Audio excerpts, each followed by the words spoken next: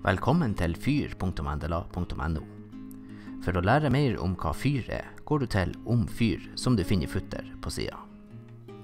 På Fyr er inngangen til de yrkesretta ressursene lagt til de fire fellesfagene engelsk, matematikk, naturfag og norsk.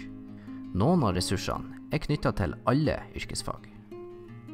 Dersom du søker etter en ressurs i søkefeltet oppe til venstre, eller velger et av fellesfagene på forsida, kan du filtrere på yrkesfaglige utdanningsprogram, innholdstyper eller klassetrinn, eller en kombinasjon av disse. Du kan også velge å bære seg innhold som er godkjent og kvalitetssikra av de nasjonale sentrene.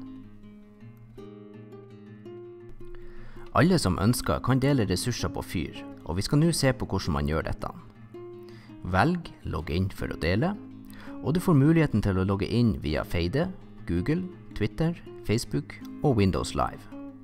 Dersom du har konto hos flere av disse tilbyderne, kan du knytte disse sammen til én og samme bruker under innloggingstilbydere på min.ndla.no.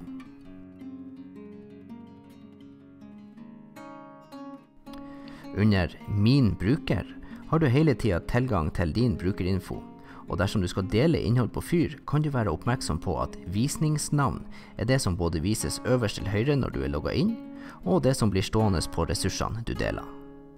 Dersom du velger fylke for brukeren din, slipper du også å bli spurt om dette hver gang du oppretter ressurser. Når du har gjort de brukerinnstillingene du ønsker, trykk du på lagre. Etter at du har logget inn, får du en nedtrekksmeny som gir deg muligheten til å dele interaktive oppgaver, artikler, filer, lenker og undervisningsopplegg.